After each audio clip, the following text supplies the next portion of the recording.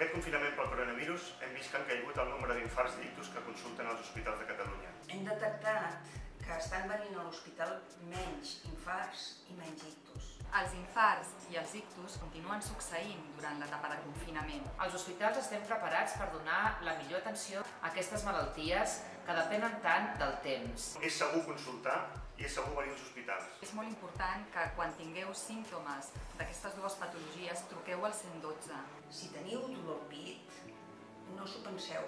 Truqueu al 112 i veniu ràpid a l'hospital. Si teniu símptomes d'ictus, com són la boca torçada, pèrdua de força amb un braç i una cama d'un costat, problemes per parlar amb normalitat o pèrdua de visió de forma sobtada, pot ser un ictus, no ho dubteu. Truqueu al 112 No ho dubteu, truqueu al 112. Heu de trucar al 112. Els hospitals continuem preparats per assistir-vos 24 hores al dia, 7 dies a la setmana.